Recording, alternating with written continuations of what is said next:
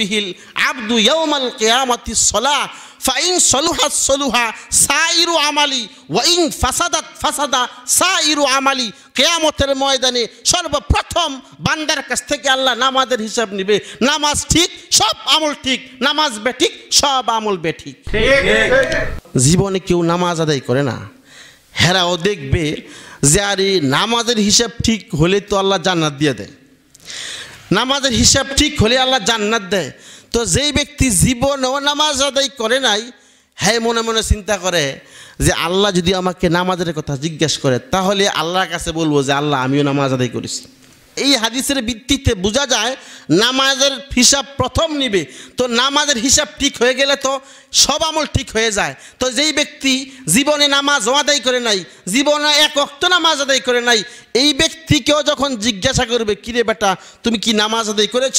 সে ব্যক্তি বাঁচার জন্য বলবে, আল্লাহ হ্যাঁ একক্ত আদায় করে নাই হ্যাঁ ওই দিন বাঁচার জন্য বলবে, আল্লাহ একক্ত সারি নাই। আল্লাহ তাকে বলবে, তুমি যেহেতু একক্ত নামাজ দুনিয়াতে সারো নাই, অতএব তুমি তো রুকু দিয়েছ দুনিয়াতে, তুমি তো সেজদা দিয়েছ দুনিয়াতে দুনিয়াতে যে রুকু দিছ, দুনিয়াতে যে সেজদা দিছ, তো আমার সামনে একটা রুকু দাও, আমার সামনে একটা সেজদা দাও। ওই সময় লোক রুকু দিতে যাবে, কিন্তু রুকু দিতে পারবে না। আল্লাহ বলবে, কেন একটা সেদা দাও? মুমিন ব্যক্তিকে যখন আল্লাহ বলবে কিরে মুমিন, তুমি একটা রুকু দাও। মুমিন দ্রুত রুকুর মধ্যে গিয়ে বলবে, সুবহানা রব্বিয়াল আজিম সুবহানা রব্বিয়াল আজিম সুবহানা রব্বিয়াল আজিম যেই ব্যক্তি পাঁচক্ত নামাজ জামাতের সাথে আদায় করেছে, ওই ব্যক্তিকে যখন আল্লাহ কেয়ামতের ময়দানে বলবে, একটা সেজদা দাও, মুমিনকে বলার সাথে সাথে, মুমিন সাথে সাথে সেজদার মধ্যে গিয়ে বলবে, সুবহানা রব্বিয়াল আলা, সুবহানা রব্বিয়াল আলা, সুবহানা রব্বিয়াল আলা। এই ব্যক্তি সারা জীবন সুবহানা রব্বিয়াল আজিম বলেছে। সারা জীবন সুবহানা রব্বিয়াল আলা বলেছে, আল্লাহ পরীক্ষা নেওয়ার সাথে সাথে সে আল্লাহর সামনে রুকু করতে পারবে, আল্লাহর সামনে সেজদা করতে পারবে। আর যেই ব্যক্তি নামাজ দুনিয়াতে আদায় করে নাই, এরে যখন বলবে, তুমি যেহেতু বাঁচার জন্য তো মানুষ মিথ্যা কথাও বলবে বলবে, আল্লাহ, আমিও তো নামাজ আদায় করেছি। আল্লাহ বলবে, যেহেতু তুমি নামাজ আদায় করেছ, তাহলে দুনিয়াতে যে রুকু দিয়েছ, একটা রুকু দাও। দুনিয়াতে যে সেজদা দিয়েছ, একটা সেজদা দাও।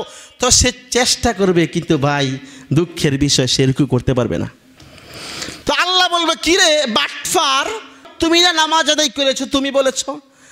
ওই সময় সে জবাব দিবে, আল্লাহ, কেয়ামতের ময়দানে যে আপনার সামনে দাঁড়ালে পীর যে লোহার মতন শক্ত হয়ে যায়, এটা আমি জানতাম না। কি বুঝলেন? আল্লাহ যখন তাকে বলবে একটি রুকু দাও, সে চেষ্টা করবে রুকু দেওয়ার জন্য। আল্লাহ বলবে, কিরে, রুকু দিতে পারতেছ না কেন? সে বলবে, আল্লাহ, আমি যে কেয়ামতের ময়দানে আপনার সামনে দাঁড়িয়ে, আপনার সামনে দাঁড়িয়ে যে রুকু দিতে গেলে পিঠ লোহার মতন শক্ত হয়ে যায়, এটা আমি জানতাম না।